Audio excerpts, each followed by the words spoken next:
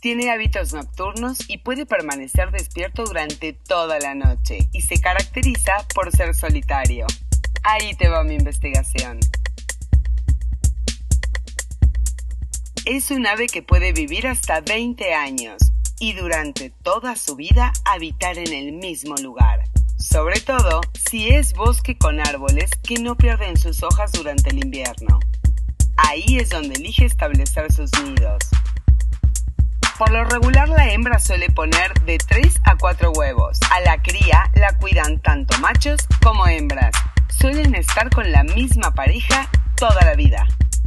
El búho fue considerado por los egipcios, celtas e hindúes, entre otras muchas culturas, como símbolo de sabiduría interior e intuición. Un mensajero entre la vida terrenal y la espiritual, y un animal guardián del inframundo. Sus extensas alas le permiten volar a gran velocidad. Si están desplegadas, puede llegar a medir un metro y medio. Tiene garras muy filosas y largas, para poder sujetar a sus presas mientras mantiene su vuelo. Las hembras son un poco más grandes que los machos. Los búhos tienen tres párpados, los cuales dos externos con los que parpadea y duerme, son de color amarillo a anaranjado. Pueden ver en la oscuridad.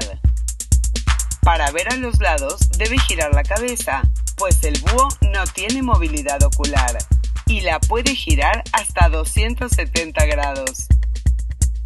La diferencia que tienen con la lechuza son los mechones de plumas a los lados de la cabeza que parecen orejas. Es carnívoro, pero no te preocupes, solo cazan presas menores o del mismo tamaño que ellos. Si te gustó esta breve investigación, te invito a suscribirte a mi página de YouTube. Yo soy Paula SC, donde encontrarás más temas tanto interesantes como divertidos. Hasta la próxima.